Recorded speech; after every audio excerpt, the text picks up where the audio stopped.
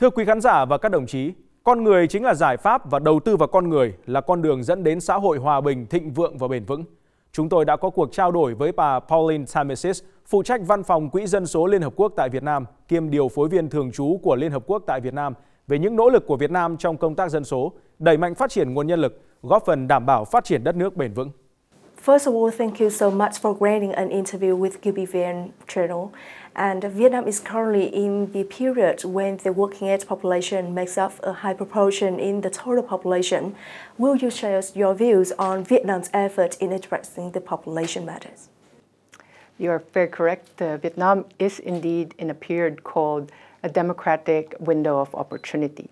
Since 2007, Vietnam has been in this window of opportunity uh, where the working age population is twice larger than the dependent age population, which is mostly composed of children and uh, elderly people. It is projected that this demographic window of opportunity will end by 2039. Therefore, you have a unique opportunity from now until 2039 uh, to advance sustainable development and address uh, the remaining challenges. We are already seeing remarkable progress of Vietnam in achieving the SDGs. Uh, people live longer and healthier. Vietnamese people also have access to education, skills, and livelihoods. Overall, Vietnam's um, multidimensional poverty rate is down to 3.6% from 9% in 2016. In your opinion, what should Vietnam do to uh, maximize this opportunity to accelerate a rapid and sustainable development? Despite the remarkable progress, there are remaining challenges. Um, Vietnam is facing a rapidly aging population. In the 2019 Housing and Population Census Report, it is seen that 12% um, um, of the population is above the age of 60. In 2050, it is expected to double. So what does this mean? To sustain development progress, we need to anticipate the needs of an aging population. Um, strengthening social protection systems is one of the solutions.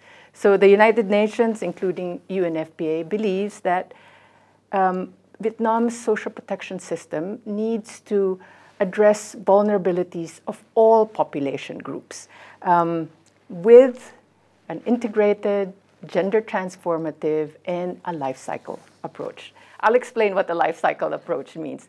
It means we need to invest in every stage of a person's life so that when they get older, they still have a healthy, happy, and prosperous life. This means older persons need to be covered by social protection so that they could participate in economic development.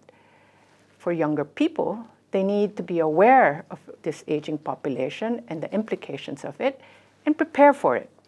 So demographic window of opportunity in Vietnam is about investing in people. It's about investing in the human resource capabilities of uh, Vietnam. For UNFPA, we believe that the government has invested in human resources, and there are two areas of priority where we recommend further investments. One is education and skills training.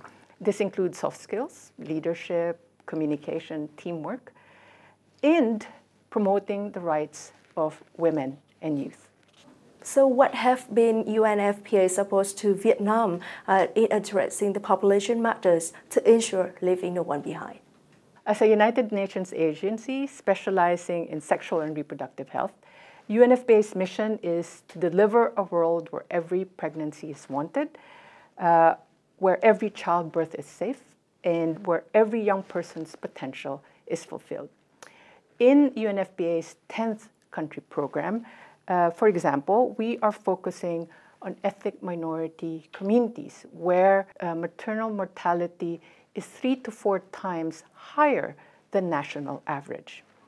Also, as a guardian of the International Conference on Population and Development, ICPD, which Vietnam has signed up to, uh, UNFPA recommends full alignment to the principles of the conference.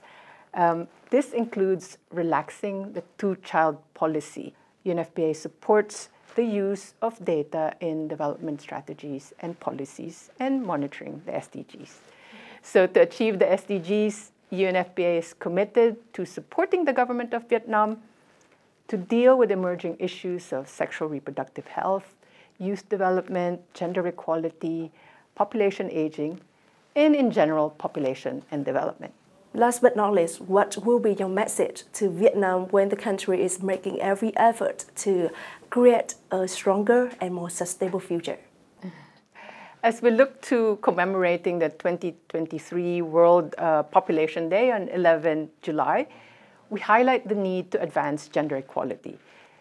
This process starts by listening to the voices of women and girls and other marginalized uh, people and introducing laws and policies that enable them to exert their rights and make meaningful choices. Um, UNFPA recognizes the importance of respecting the rights and choices of each person to create opportunities for everyone, especially women and girls, to develop to their full potential, to create a society that works for everyone, a society that is more prosperous, peaceful, and sustainable. Thank you so much for your sharing.